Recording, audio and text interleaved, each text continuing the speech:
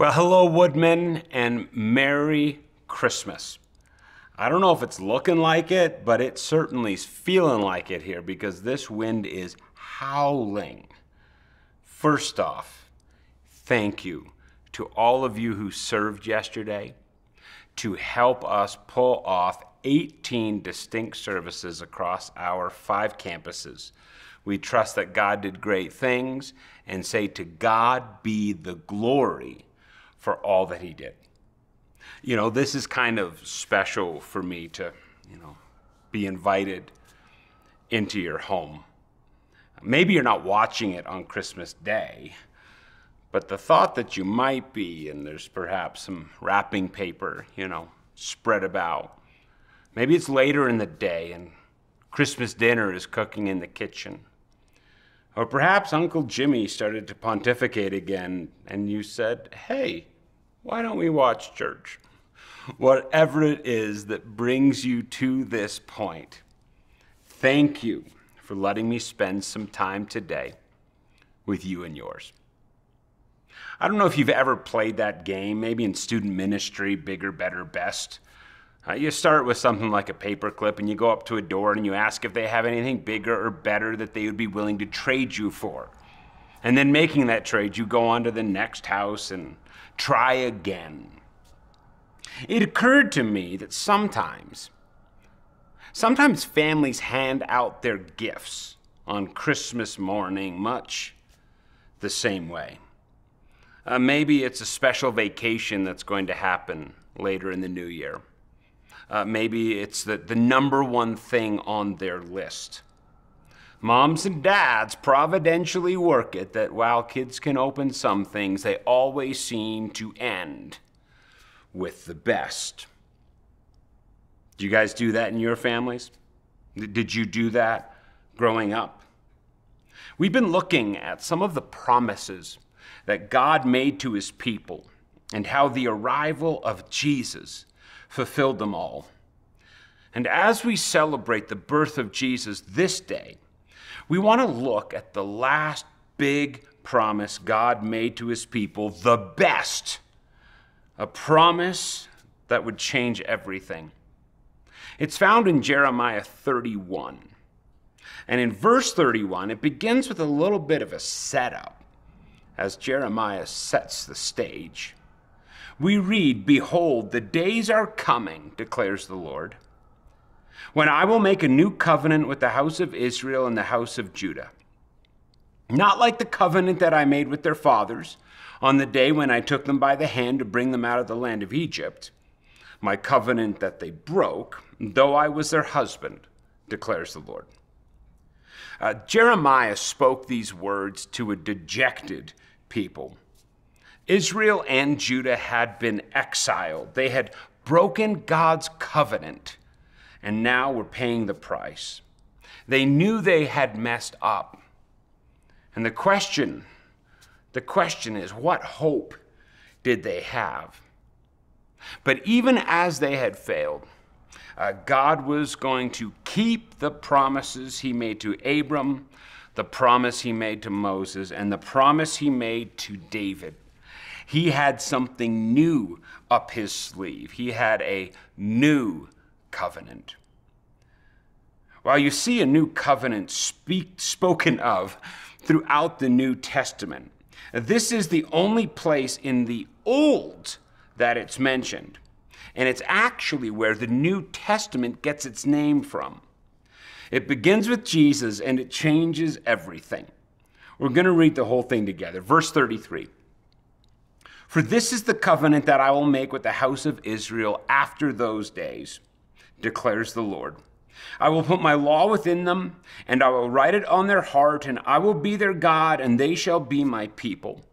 And no longer shall each one teach his neighbor and each his brother, saying, Know the Lord, for they shall all know me, from the least of them to the greatest, declares the Lord, for I will forgive their iniquity and remember their sin no more. After those days, that, that is these days, the birth of Jesus Christ, his death, burial, and resurrection ushered in this new covenant.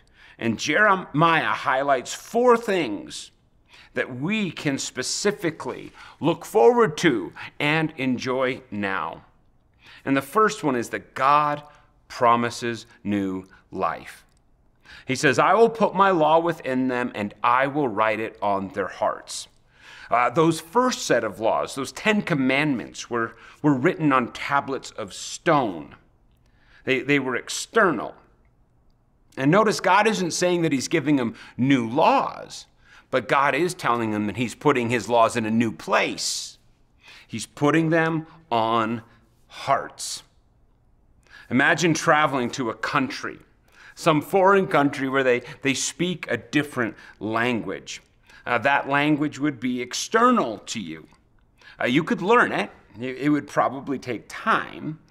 But even if you were to spend years and years there, uh, that language uh, would probably never become your heart language, the one that you were most comfortable with. That was the situation uh, the Israelites found themselves in when God gave them his laws. Uh, he told them to honor their parents, but they didn't always want to do that. Told them not to steal, but sometimes they wanted to. God's laws were external. They were not always the cry of their hearts, and consequently, they didn't come naturally to them. When someone comes to faith in Jesus, they go from being spiritually dead to spiritually alive. And one of the things that happens at that moment is that God writes his law on their hearts. And while that doesn't mean that we always follow it, there's a new desire that wasn't there before. And we feel convicted when we feel when we, when we fall short.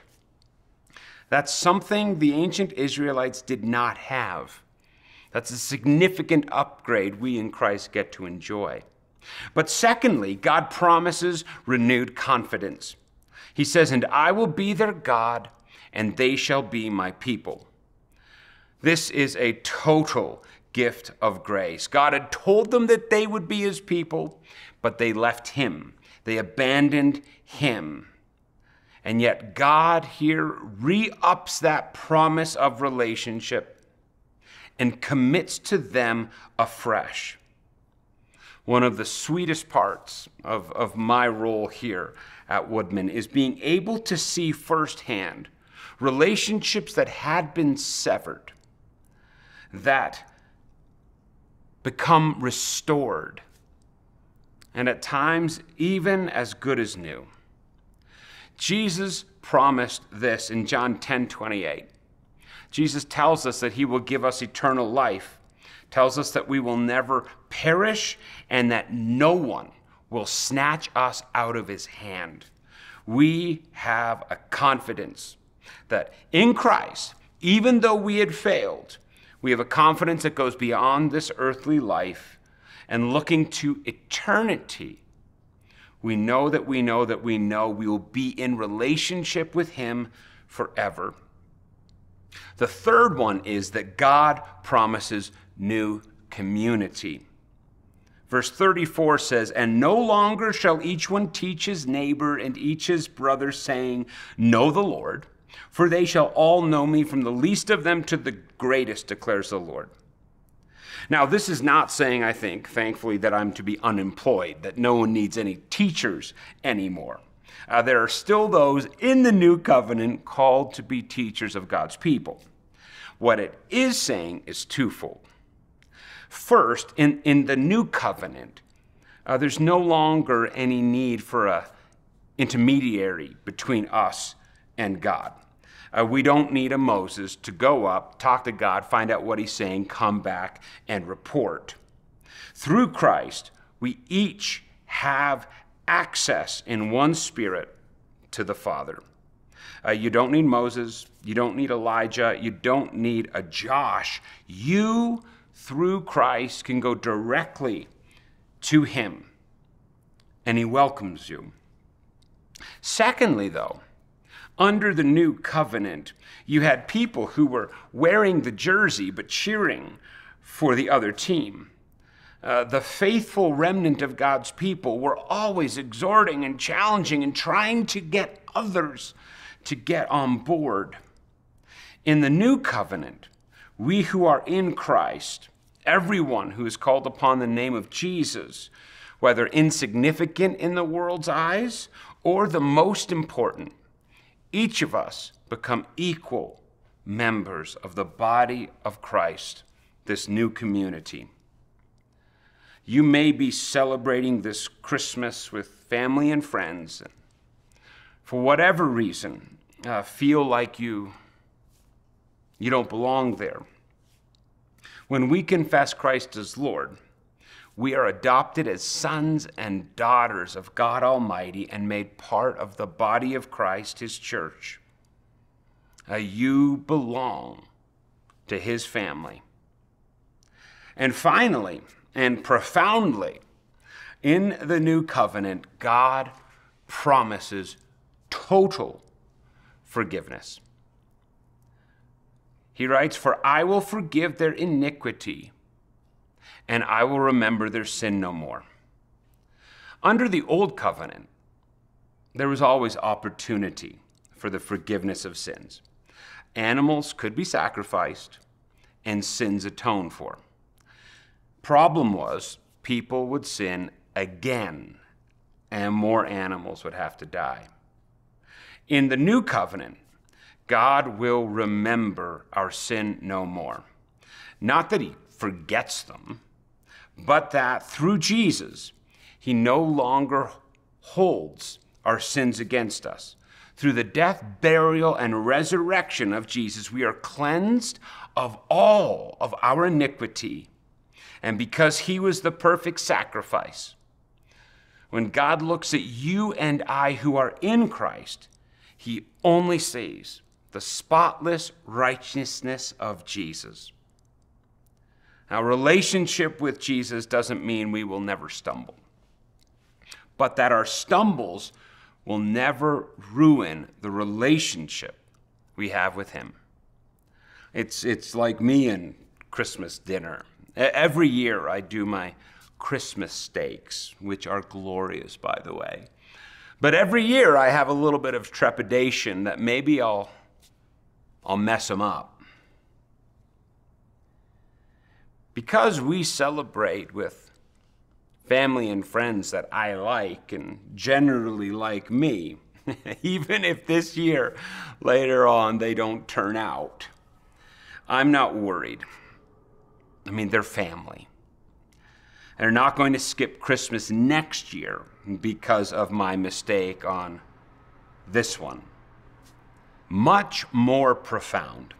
God cleanses us of all of our iniquities and does not hold them against us. Ever. For Jeremiah's listeners, they had to wait. Like children weeks ago, leading up to Christmas. But for you and me, the gift has come and it is ready to be opened. I wonder if, if that's how you need to respond today. Or perhaps you would be content to leave this gift under the tree. If you have questions about some of this stuff, I bet there could very well be people in the room you're watching with that would love to talk to you about it. Or you could certainly reach out to us and we would love to share. We each need to confess Christ as Lord and believe that God raised him from the dead for the forgiveness of our sins and this new life that he has promised us. Or perhaps you are like me and you opened this gift years ago. I wonder if you would take a moment and consider whatever it is that you found under that tree this day, uh, whatever it is that will happen to you in the year ahead, nothing will ever compare to what Jesus did on our behalf by putting on flesh and dwelling among us. He is Emmanuel, God with us. In these next moments together, we are going to sing some of the songs we love so well, knit our hearts to His. Before that, allow me to pray, and we will worship together. Our Heavenly Father, we thank you for this greater promise, this new covenant that in you we can have new life, a renewed confidence, new community, and the forgiveness of sins. Lord, I pray that for those of us who know you by faith this morning, would we rejoice and relish in that truth? And perhaps, God, would this be a day of salvation when our loved ones or friends embrace what it is we have found in the person and work of our Lord and Savior Jesus Christ, in whose name we pray. Amen.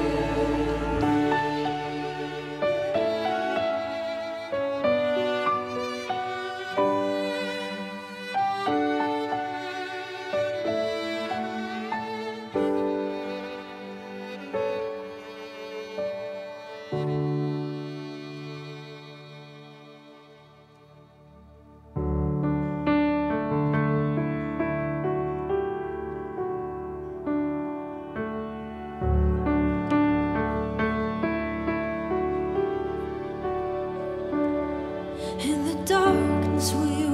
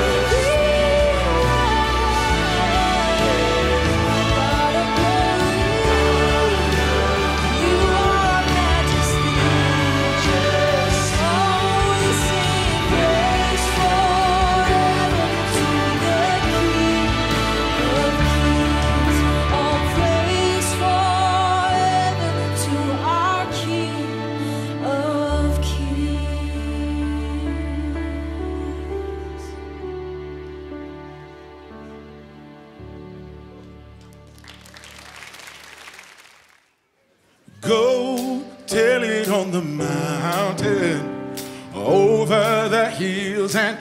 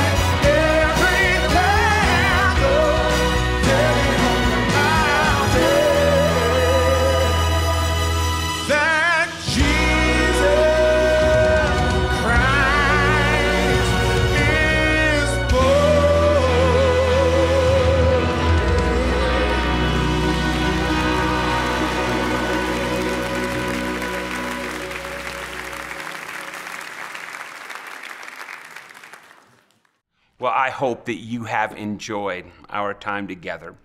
And I don't know if you're going to dinner, if you're going to watch a football game. I don't know what is next.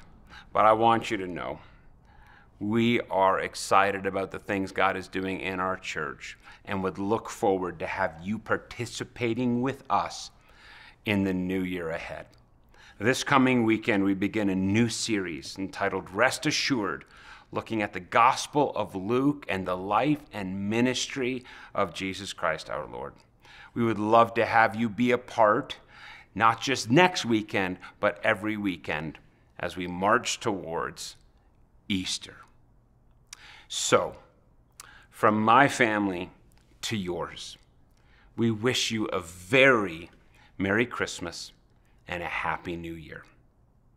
Now, to Him who is able to keep you from stumbling and to present you blameless before the presence of His glory with great joy, to the only God, our Savior, through Jesus Christ our Lord, be glory, majesty, dominion, and authority before all time, and now and forever. Amen. Merry Christmas.